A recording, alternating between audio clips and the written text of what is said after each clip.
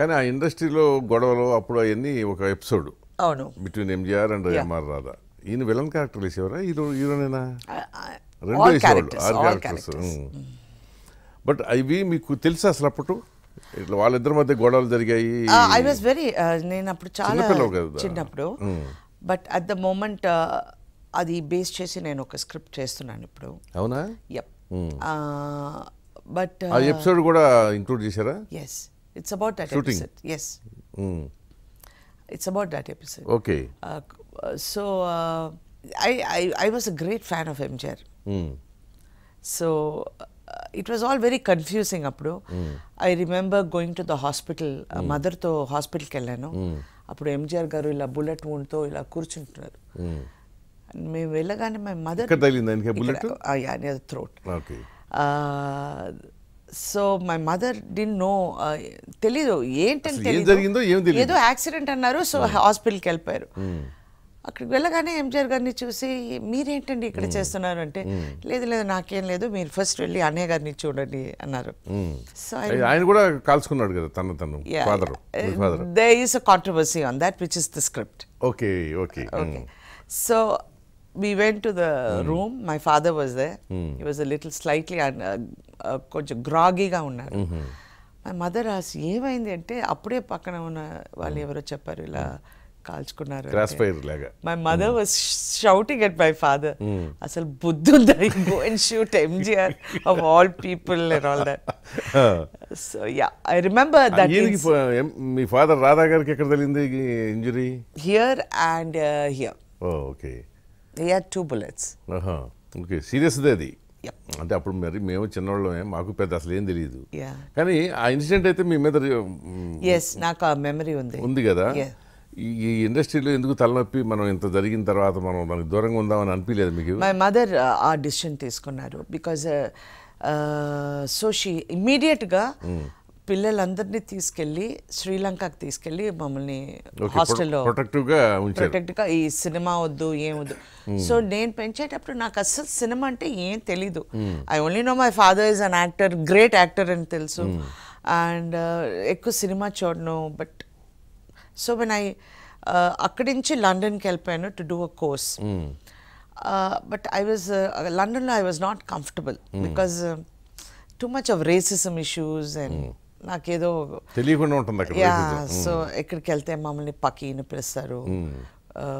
మళ్ళీ colour colour ఏదైనా అంటారు. So you know it was very disturbing for me so I came for a holiday I remember in the month of February to meet my father అప్పుడు భారతి రాజా గారు వచ్చి ఆ పిక్చర్కి ఒక heroine వెతుకుతున్నారు. Okay. Heroine దొరకలేదు. అందరూ లొకేషన్కి వెళ్ళిపోయారు.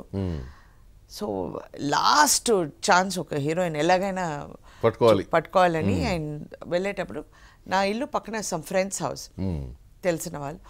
వాళ్ళ ఇంటికి వెళ్ళి ఆ అమ్మాయిని చూస్తుంటప్పుడు ఫోటోలో నేను పక్కన నించున్నాను. ఈ అమ్మాయి ఎవరు అని అడిగాను ఇక్కడ టూ హౌసెస్ దగ్గరే ఉన్నారు అని ఆయన నడుచుకుని వచ్చారు. వచ్చి నేను అప్పుడు ఆ గార్డెన్లో వాటర్ చేస్తున్నాను. దెన్ ఎక్కడ? చెన్నైలో. చెన్నైలో. ఫాదర్ దగ్గర ఉన్నారు అప్పుడు. లేదు ఫాదర్ దగ్గర ఉన్నారు. ఫాదర్ చూడడానికి వస్తే వచ్చాను అప్పుడు ఫాదర్ ఇంట్లో లేదు. So only I me and my mother వదే so అప్పుడు ఆ ఏరియాలో ఒక పెద్ద మర్డర్ జరిగింది. అండ్ వెరీ మాకు తెలియకుండా ఆ హౌస్లో మేము ఉన్నాం. ఓ. దెన్ వెన్ హీ సో మీరు భారతి రాజా గారు చూస్తే ఆయన ఎలా ఉంటారు అప్పుడు అంటే. నల్లగా. కర్లీ హెయిర్ ఇంత దాకా. చాలా ఒక ఒక ఫియర్సమ్ ఫిగర్గా ఉంటారు so when he came I thought he was the murderer robber or something so I said you can come in you can come in go out then he said లేదు లేదు. మా అమ్మాయి మీ అమ్మాయిని పిల్లండి నేను మాట్లాడతాను. Then my mother came my mother అర్థం. చేసుకున్నారు he was very popular because అప్పుడే పదనారు ఐదు నెలలే రిలీజ్ అయ్యి was a very big new age director అవును. Then he came and as me అప్పుడు నేను ఎంఆర్ రాధా గారు అమ్మాయిని ఆయనకు తెలీదు. ఓహో.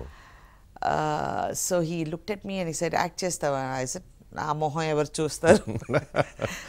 అంటే అదంతా నీకు అక్కర్లేదు.